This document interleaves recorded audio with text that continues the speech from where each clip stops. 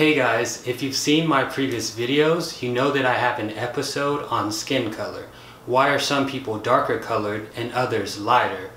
It turns out it's selective pressure between skin protective factor of darker skin and being able to absorb enough sunlight to produce vitamin D. So it's a tie between the environment and your diet. Do you have a grain-rich diet that's low in vitamin D? Or do you have a meaty diet that gets you enough vitamin D and so you need selective pressure towards darker skin for that skin protective factor? Additionally, it turns out that we all really are shades of brown. We have one skin color pigment and that's melanin.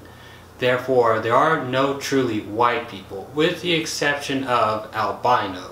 So albino people, they're really light colored skin, actually has sort of sometimes a reddish colored tint to it.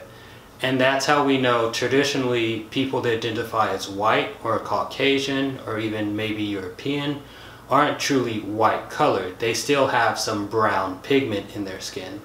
So if we were truly white, you would be able to see pretty well through our skin and the blood vessels underneath would actually color our skin sort of reddish.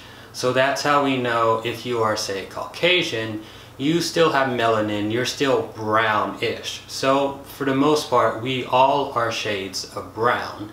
There's one color, brown, but we're just different variations of it. Even myself as an African American, although we are referred to as black, we are also brown as well. But on that note, what does it really mean to be black? What does it really mean to be African American? So I know my ancestors came from Africa, but the African continent is approximately 11.72 million square miles, and there are upwards of 58 countries in Africa.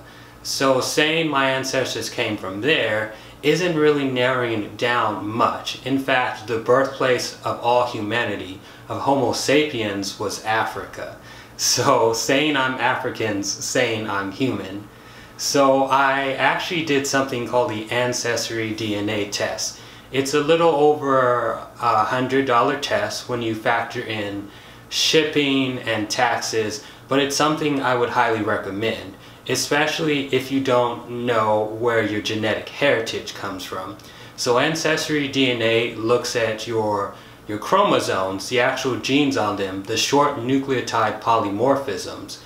Even though humans share the same DNA and the same genes, we have different versions of, the, of each gene called alleles. And alleles are just alternative versions of genes. So Ancestry DNA can see how these different alternative alleles different, differ between people groups and can sort of trace back your genetic heritage. It is sort of a complicated process on their end, but for us, it just translates to a really long wait. For me, I got my test back in about five weeks after I sent it off. The quote can be anywhere from four to six weeks or as high as six to eight weeks, depending upon current demand but it is a process that I would recommend. You do get a lot of interesting data back and it does sort of help identify what your genetic heritage is. So turns out I am from Africa. The test did confirm that, so we are good. However, I also know that my ancestors are from two predominant regions of Africa. So we have the Ivory Coast slash Ghana, and then we have the Cameroon slash Congo region. Interestingly enough, the these are regions that were heavily involved in the transatlantic slave trade. So really no surprise there either, but narrowing down to two regions actually sorts of helps me identify who I am, who my ancestors are. Recently, Ancestry DNA added something called DNA communities, it helps sort of track where your ancestors moved across the different continents. So I just logged in today and I saw that based off of my genetic profile, my ancestors settled in the North Carolina and Virginia region. So those were also some of the first regions to get slaves according to Ancestry DNA. So that's something that's pretty cool. I'm now living in a whole nother state, but my ancestors, chances are, we're in North Carolina. Or, well, originally, you know, the Congo and the Ivory Coast. So that's all, that's pretty cool. I also learned that I do have some European genetics in me, so that wasn't too big a surprise either. I'm pretty far removed, my ancestors are from Africa. It's not like, I'm not a first generation, I'm not a second generation. I'm, I've been in the United States and my parents have been in the United States and their grandparents and probably their grandparents as well, as far as anyone can tell.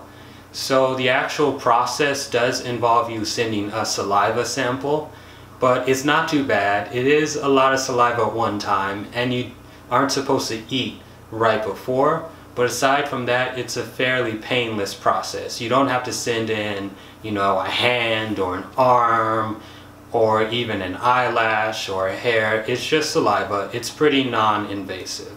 So if you're wondering sort of who you are from a genetic standpoint, where your ancestors came, and something like a family tree isn't helping you out, I definitely recommend you check out Ancestry.com. I do have sort of a full, longer review on Tumblr, if you guys want to check that out as well.